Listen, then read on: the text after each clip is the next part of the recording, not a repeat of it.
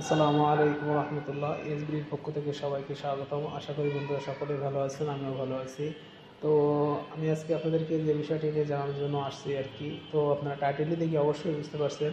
তো আজকে আমি আপনাদেরকে দেখাবো যে একটি কম্প্রেসারের কীভাবে আপনার মানে সাকশন ডিসচার্জ এবং আপনার সার্ভিস ভাল্ব চিন, চিনবেন আপনারা আর কি।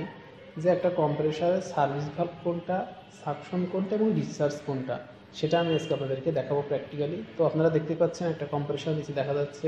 তো এই কম্প্রেসারটা হচ্ছে আপনার গোদরেজ ইন্ডিয়ান যে কম্প্রেসার তো আমি দেখাবো যে কম্প্রেসারটা আপনারা কীভাবে চিনবেন। তো কম্প্রেসারের এটা আমি দেখাবো আপনাদের। তো আগে থেকেই বলছি, যারা আমার চ্যানেলে এখন নতুন, তারা অবশ্যই সাবস্ক্রাইব করবেন এবং পরবর্তী নতুন ভিডিওটি পাওয়ার জন্য আপনি পাশের বেলাইকনে ক্লিক করে রাখবেন। আমি বাই দা বাই আপনাদের সবগুলো মানে আর কি, একটা রেফ্রিজারেটরে কীভাবে কাজ করবেন এবং এর কম্প্রেসার রান কমান স্টার্ট বের করতে হয় সেগুলো আমি আপনাদেরকে দেখাবো। তো আমি দেখাচ্ছি এখন আপনাদের একটি কম্প্রেসারটা আমি খুলছি। তো দেখেন আপনারা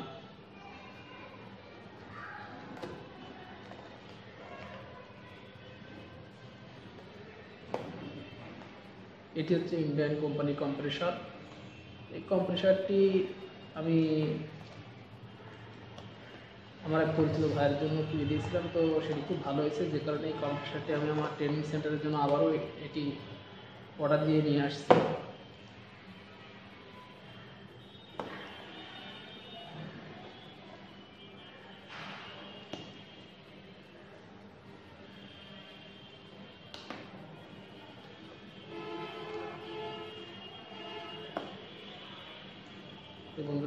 একটু করবেন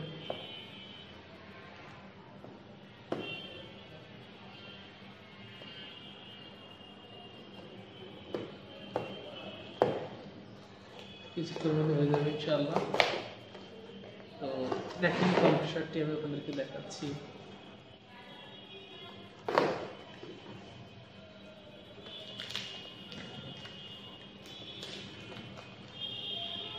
দেখেন কম্প্রেসারটি আমার খোলা গেছে, এখন আমি কাটবো কম্প্রেসারটি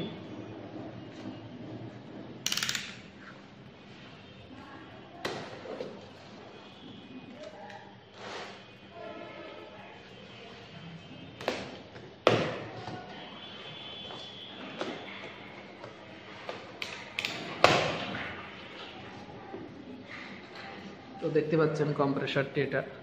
একবারে নতুন একটি কম্প্রেসার। ট্রেনিং সেন্টার নিয়েছি দেখেন, এখানে আমি এই যে এগুলো জিনিসগুলো আছে, তো এই যে জিনিসগুলো হচ্ছে আমি একটা করে দেখাচ্ছি আপনাদের।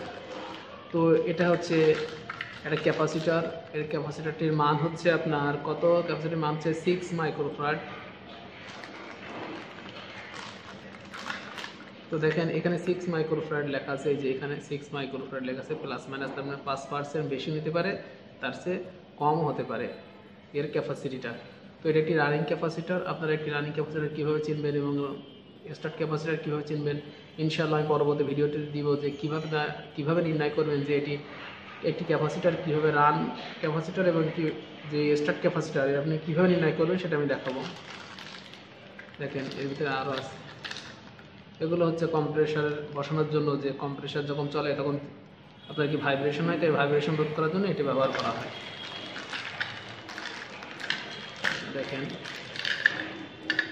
এটি হচ্ছে একটি আপনার রিলে এটি হচ্ছে একটি রিলে আপনার মানে আর কি পটেনশিয়াল সরি এটা জি, এটা একটা PTC relay positive temperature coefficient যার ফুল মিনিং এটি হচ্ছে একটি ওভারলোড প্রোটেক্টর দেখতে পাচ্ছেন, এটি একটি ওভারলোড প্রোটেক্টর এই যে, এটি একটি ওভারলোড প্রোটেক্টর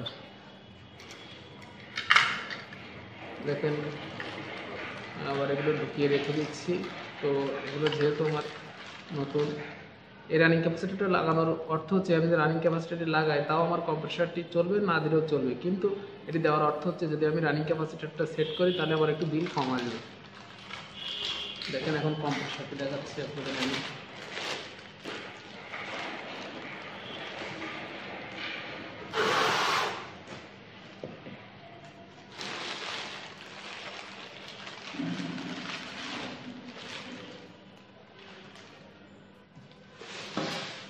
কম্প্রেসর তো কম্প্রেসরের এই যে আমি এদের কীভাবে চিনব যে কোনটি আপনার ডিসচার্জ এবং কোনটি সাকশন, সেটা আমি কীভাবে চিনব?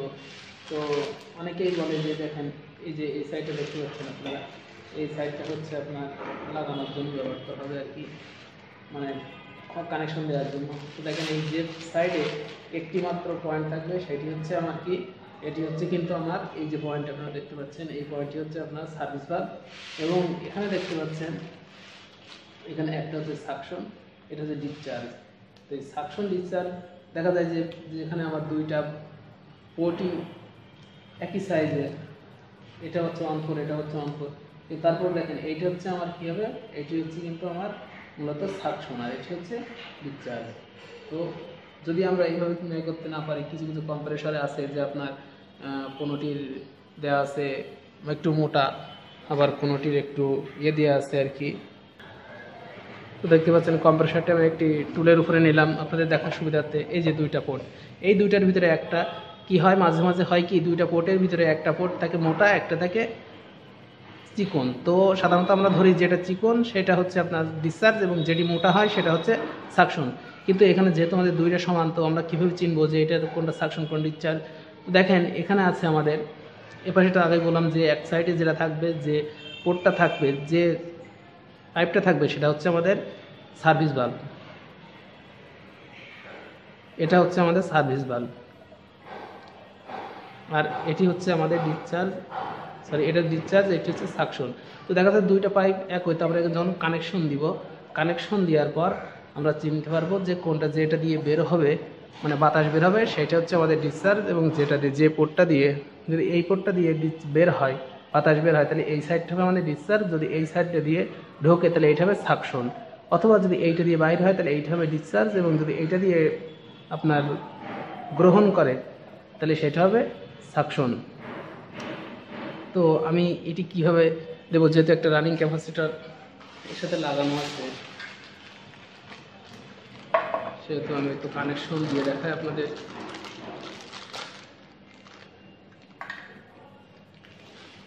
এটি হচ্ছে আমার রিলে এই রিলেটি এখন আমি কানেকশন দিব।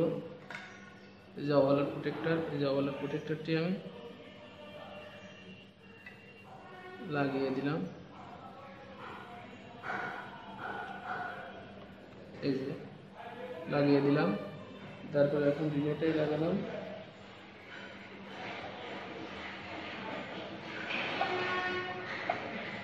এর আছে দুইটা পয়েন্ট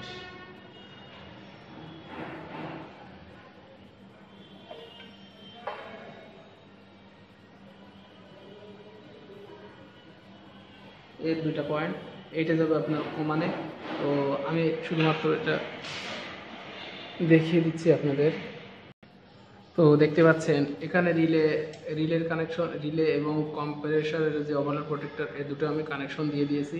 তো কানেকশন দেওয়ার পর এখন আমার বিষয় হচ্ছে যে আমি এই ক্যাপাসিটারটি কীভাবে সংযোগ দিব? সেটা হচ্ছে আমার বিষয়। অনেকেই আসলে ভাবতে পারে যে আসলে এটা কানেকশন দিব কীভাবে কীভাবে কি করব? তো দেখেন এখানে পিন দুটা। দেখেন এখানে যে পিন দুইটা দেয়া আছে, তো পিন দুইটা দেখেন।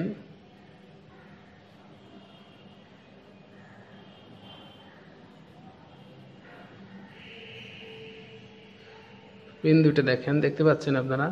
পিন দুইটা। দেখেন, এখানে যে দুইটা লাগবে আমার, এখানে দুইটা পিন দেখতে পাবেন আপনারা। কম্প্রেসার যেখানে রানিং ক্যাপাসিটার দেওয়া থাকবে কম্প্রেসারের সাথে, সেখানে দেখবেন যে দুইটা পিন চিকন। এই দুইটা পিন চিকনের সাথে দেখবেন আপনি এখানে যে পিন দুটো দেওয়া আছে, এখানে যে দুইটা পিন দেওয়া আছে, এই পিন দুইটা দেখবেন ঠিক ওই সেম যে দুইটা মাপের হবে, এখানে যে দুইটা মাপের খাটবে আপনি সেখানে দিয়ে দেবেন। বাকি যে মোটা যেটা থাকবে সেটি দিয়ে আপনি সাপ্লাই দিবেন। দেখেন, এখানে দুইটা পিন এক চিকন, মোটা চিকন আছে, তো এইটা আমি কানেকশন দিলাম। দেওয়ার পরে এটা আমি দিলাম কানেকশন দেওয়ার পরে দেখেন এখানে একটা মোটা পিন আছে। এই মোটা পিনটা আপনি কি করবেন এবার? সাপ্লাই যখন দিবেন, তখন সাপ্লাই দুইটা থাকবে, একটা দিবেন ওভারলোডে একটা দেবেন রিলের যে একটা খালি পয়েন্ট থাকবে, সেখানে আপনি কানেকশনটা দিবেন। দিয়ে আপনি কম্প্রেসার চালু করতে পারেন। তো সাধারণত এইভাবে যারা কম্প্রেসার আপনার আর কি সাইকেলের দোকানে অথবা হাওয়া দেওয়ার জন্য ব্যবহার করে, সেখানেও এইভাবে ইউজ করতে পারে আর কি। তো এই ছিল আমার ভিডিও আমি দেখালাম কীভাবে আপনারা সাবসন ডিসচার্জ এবং সার্ভিস ভালো নির্ণয় করবেন। এটা কিন্তু সার্ভিস ভাল্ব এই যে একটা, এটা কিন্তু সার্ভিস ভাল্ব এটা কিন্তু কোনো আপনার আমরা বলতে পারি যে চার্জিং ভাল্ব কি, এসব বলতে পারি। কিন্তু আসলে কিন্তু কখনোই না। নো নো চার্জিং ভাল্ব কারণ এইটা দিয়ে আমরা কি করতে পারি? সার্ভিস ভাল্ব হিসেবে ব্যবহার করতে পারি চার্জিং ভাল্ব হিসেবে ব্যবহার করতে পারি এবং আপনার, এই জন্য এর মূলত নাম হচ্ছে কি আমাদের এই সাইড দিয়ে আমরা ভ্যাকুয়াম করতে পারি। তাহলে তো চার্জিং ভাল্ব বলতে যে সাইড দিয়ে চার্জ করা হয় সবসময় সেইটাকে বলা হয় কি? চার্জিং ভাল্ব কিন্তু আসলে এটা কিন্তু চার্জিং ভাল্ব না, এটা সার্ভিস ভাল্ব মানে যে সাইডটা দিয়ে আমরা ভ্যাকুয়াম করতে পারব গ্যাস ঢোকাতে পারব লিক টেস্ট করতে পারব, সেটা হচ্ছে আমাদের কি? সার্ভিস ভাল্ব এর নাম কিন্তু সার্ভিস ভাল্ব নট আপনার চার্জিং ভাল্ব বলা যাবে না। তো এই ছিল আমার ভিডিও আমি আবারও বলছি, যারা আমার চ্যানেল নতুন, তারা অবশ্যই চ্যানেলটি সাবস্ক্রাইব করবেন। আজকে এই পর্যন্ত, আসসালামু আলাইকুম রহমতুল্লাহ।